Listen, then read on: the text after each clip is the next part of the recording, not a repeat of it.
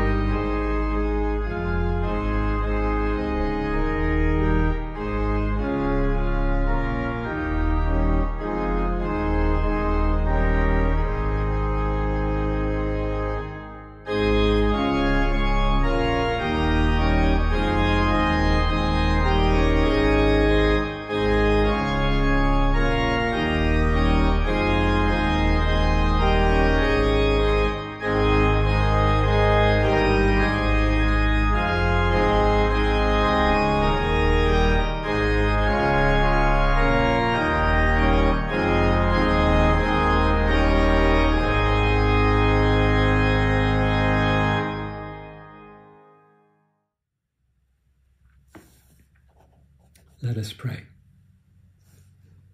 We pray, O God, that your Spirit would guide and inspire our worship. Open our mouth to speak your praise. Open our ears to hear your word. Open our eyes to see you at work among us. And open our hearts to receive your love. For we pray in the name of the one who taught his disciples to pray. Our Father, who art in heaven, hallowed be thy name. Thy kingdom come, thy will be done, on earth as it is in heaven.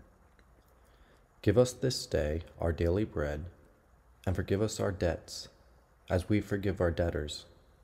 And lead us not into temptation, but deliver us from evil. For thine is the kingdom, and the power, and the glory forever. Amen. A reading of Psalm 138. I give you thanks, O Lord, with my whole heart. Before the gods I sing your praise. I bow down toward your holy temple and give thanks to your name for your steadfast love and your faithfulness. For you have exalted your name and your word above everything. On the day I called, you answered me. You increased my strength of soul. All the kings of the earth shall praise you, O Lord, for they have heard the words of your mouth. They shall sing of the ways of the Lord, for great is the glory of the Lord. For though the Lord is high, he regards the lowly, but the haughty he perceives from far away. Though I walk in the midst of trouble, you preserve me against the wrath of my enemies. You stretch out your hand, and your right hand delivers me. The Lord will fulfill his purpose for me. Your steadfast love, O Lord, endures forever. Do not forsake the work of your hands.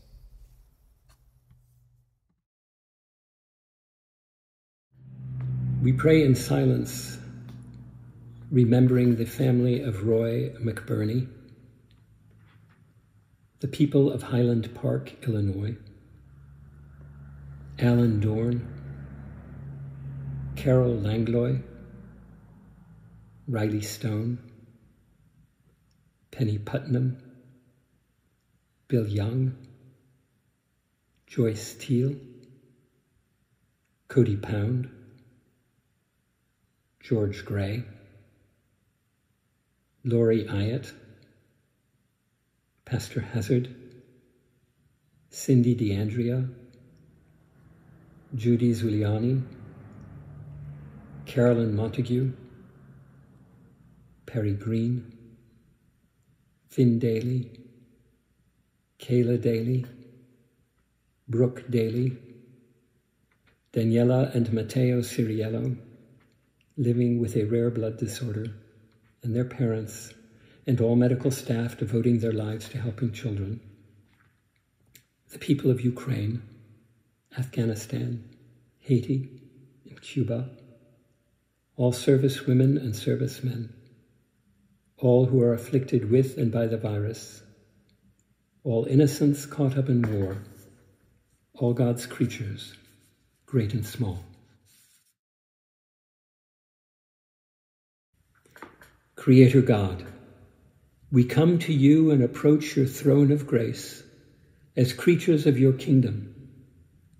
We find in you the source of life, the fount of all blessings, the wellspring of goodness which you offer for our sustenance and our nourishment, both physical and spiritual. Seeing in you, O God, the ground of our being, we seek your continuing comfort and your never ending care for our lives, that we might live in the light of your beauty as we repose under the shadow of your wing. O Lord most loving, we acknowledge that we have not loved as you have taught us to love, and that we have not always reflected your willingness to forgive others their trespasses. We pray, O Lord of love, that you will not deal with us harshly, even as we pray for your correction of our lives.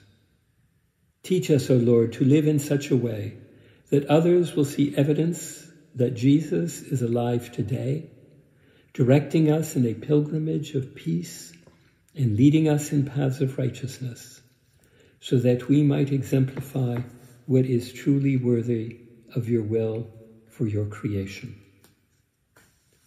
Lord of the universe, we are thankful that you have gathered us together in community, sharing your goodness and calling others to your side.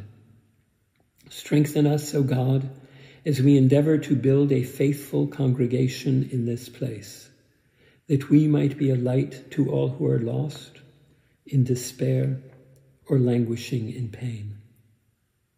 Almighty One, we pray not only for ourselves, and not just for others like us, but for all whom you love, knowing that each and every one of your children is created in the divine image. May the spirit of the carpenter of Nazareth, who labored his entire life for the good of others, flourish in our own lives as we expend righteous efforts in hastening the coming of your kingdom here on earth. May our works bear good fruit, worthy of Christ's sacrifice, given so freely and offered so nobly, even in the face of evil.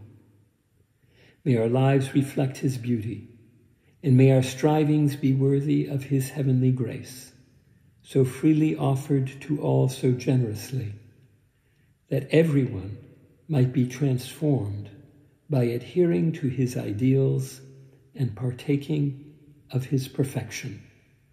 For we pray in the name of your Son. Amen.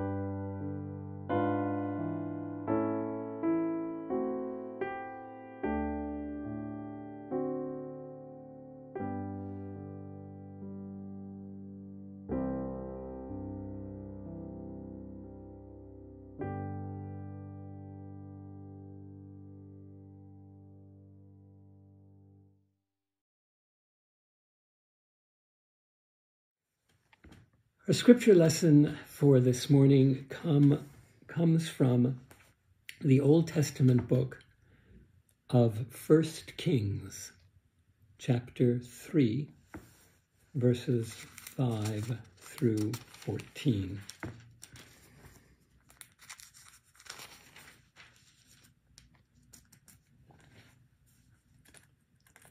At Gibeon, the Lord appeared to Solomon in a dream by night. And God said, Ask what I should give you.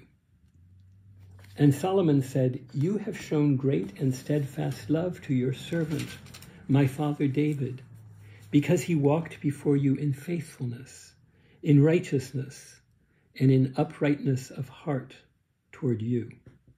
And you have kept for him this great and steadfast love, and have given him a son to sit on his throne today.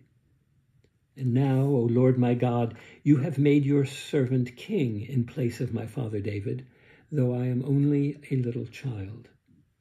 I do not know how to go out or come in. And your servant is in the midst of the people whom you have chosen, a great people, so numerous that they cannot be numbered or counted. Give your servant, therefore, an understanding mind to govern your people, able to discern between good and evil. For who can govern this, your great people? It pleased the Lord that Solomon had asked this. God said to him, Because you have asked this, and have not asked for yourself long life or riches, or for the life of your enemies, but have asked for yourself understanding to discern what is right. I now do according to your word. Indeed, I give you a wise and discerning mind. No one like you has been before you, and no one like you shall arise after you. I give you also what you have not asked both riches and honor all your life. No other king shall compare with you. If you will walk in my ways, keep my statutes and my commandments as your father David walked, then I will lengthen your life. Then Solomon awoke. It had been a dream.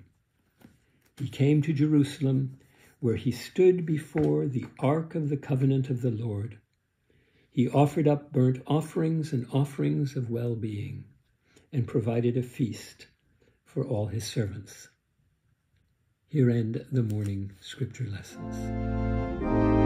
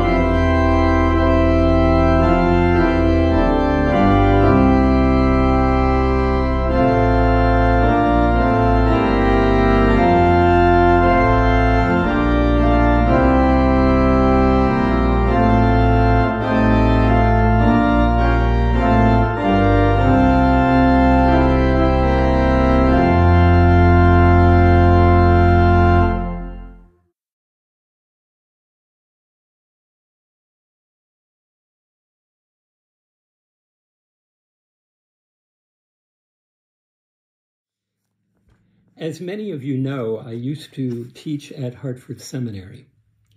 And one of the courses that I taught and that in, I enjoyed very much was called Major Themes of Scripture. And I taught that course for any number of years. Because the semester was limited to 13 or 14 weeks, I only had about 10 major themes that I could uh, treat within any uh, given semester. And so that, of course, artificially limited uh, the, um, the amount of ground that I could cover.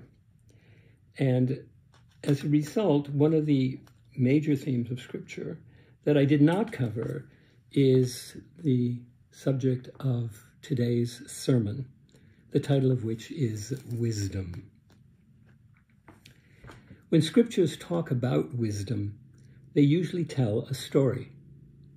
For example, there's Joseph, who served Pharaoh by storing up grain during seven years of plenty in order to get through seven subsequent years of famine.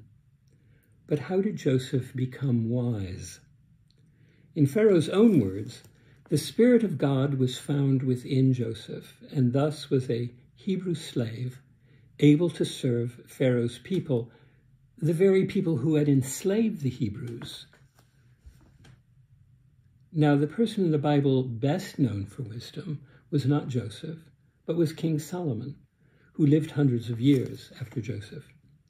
Solomon was the son of King David, and Solomon's reign arguably got off to a pretty good start. And how was that good start achieved? not through any earthly qualities in Solomon, but it came in answer to a prayer that Solomon made soon after he became king. We heard part of that prayer this morning when the new king addressed God, saying, Give thy servant an understanding mind to govern thy people, that I may discern between good and evil. Discerning between good and evil is wisdom itself. God granted Solomon's request but if you know the story of his reign, Solomon ultimately decided to forsake wisdom in favor of other, less important, less eternal pursuits. A third character in the Hebrew Bible associated with wisdom is Daniel, who lived hundreds of years after Solomon. His story is a little like Joseph's, in that Daniel, objectively speaking, is a loser his people have been overrun by the Babylonians and are sent into exile. But when the powers that be who had subjugated God's people discovered that they were incapable of solving their own problems because they relied exclusively upon themselves, they discovered among the captive nation of Judah a source of untapped wisdom in the person of Daniel. The king of Babylon needed a dream interpreted and the so called experts of the day were incapable of doing the job. The story of Daniel tells us that wisdom reveals mysteries that knowledge, mere knowledge, cannot fathom. But how is such wisdom acquired? Intelligence does not guarantee wisdom. Neither will subscribing to some Wall Street newsletter or by pursuing political empowerment. Scripture, however, affirms that wisdom is all around us. It stands in the middle of our everyday lives, calling out for us, if only we would heed the call. Wisdom is available, but by divine invitation only. Yet so many ignore that truth and doubt the very reality of the divine in their own lives. Many search for wisdom, but in their confusion look for it, as it says in the book of Job, in the land of the living, in the accepted ways, in what some call tradition. Others think that certain manners of behavior, such as attending the right church or volunteering for politically correct causes, will provide the keys to wisdom. But trying to find wisdom in such a way is like the man who wanted to be smart. And so he bought himself a set of encyclopedias, thinking that if he physically owned or possessed a repository of knowledge and could show a sales receipt for it, he would be considered knowledgeable. However, wisdom is not knowledge, and it certainly is not for sale. Wisdom is beyond the dimension of scholarly endeavor. It is not a matter of acquiring facts or getting good grades. We cannot dig it up from the ground like a precious metal, or plant it and water it and then harvest it. On the contrary, wisdom must come from an encounter with the holy. For wisdom is something beyond ordinary thought, ordinary knowledge, ordinary living. And it is in this encounter with the Creator of life, with the one who loves us, that wisdom first comes to us. Now, why should that be? In experiencing the great infinite majesty and power of God, we inevitably come to a sense of our limits. And to learn acceptance of those limits is one of the first steps in acquiring wisdom. To learn that we are not the center of the universe, and that in the end, what we want, what we think, what we do, is not the most important game in town. So, just as we mature physically and socially, we must mature spiritually. And through spiritual maturity, wisdom becomes the gift of God. I suspect that most of us here, having attained the age of six or seven, realize that we are not the end all and be all of life, the universe, and everything. And before the age of six, well, we have an excuse for thinking that everything revolves around us, especially if we have been brought up in a home that, yes, has perhaps indulged us a little.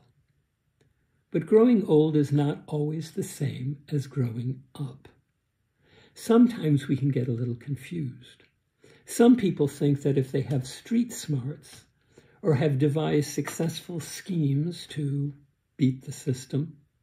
They will have made it, as the saying goes.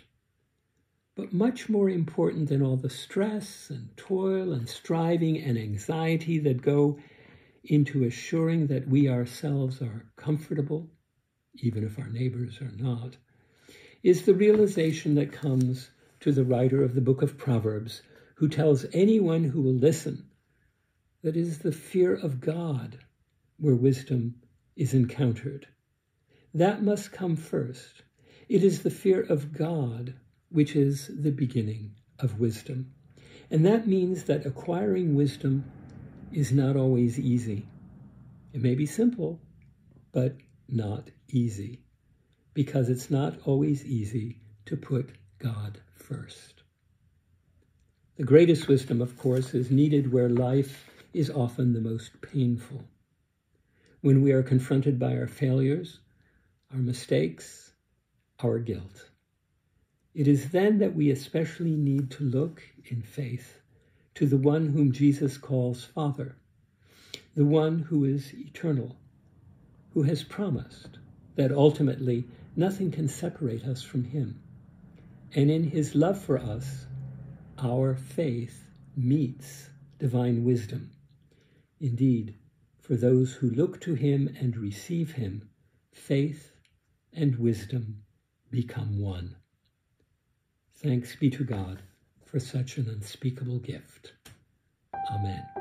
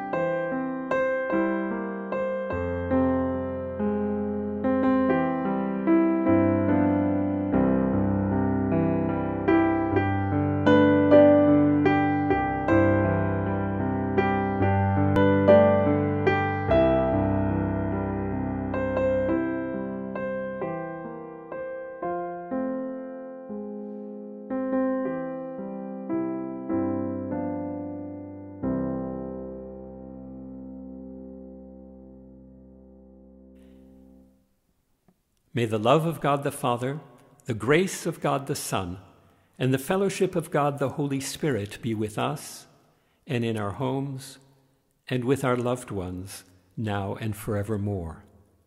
Amen.